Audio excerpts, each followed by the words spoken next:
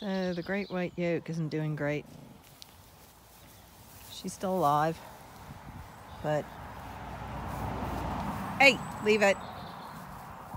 She's uh, not doing great. So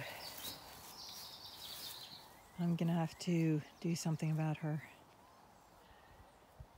I'll probably have to get the knacker man to come tomorrow because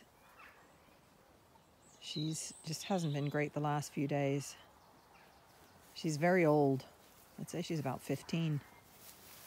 She could be more than that. But she's not doing great. Come on.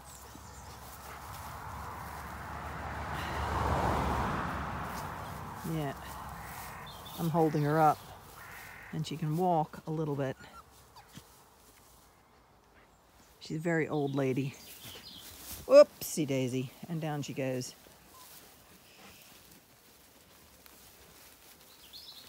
Well, she can get herself comfortable and she's in the shade. So I'll leave her here till tomorrow and then uh, get the knacker man who does a really good job very quickly and humanely. Okay, leave her be, Bear. Brindle, leave her be. Good dogs. Leave her be.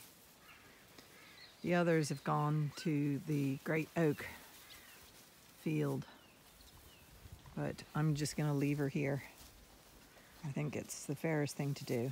And she's sheltered and has grass. This great ancient old horse chestnut is shedding its branches now. This is a huge one. It's come down recently. And the sheep have done a great job of cleaning up its edges. But more and more of these horse chestnuts are coming down. You can see the great white yoke lying down over there under more of the shelter of the horse chestnut. There she is, in amongst some fresh grass.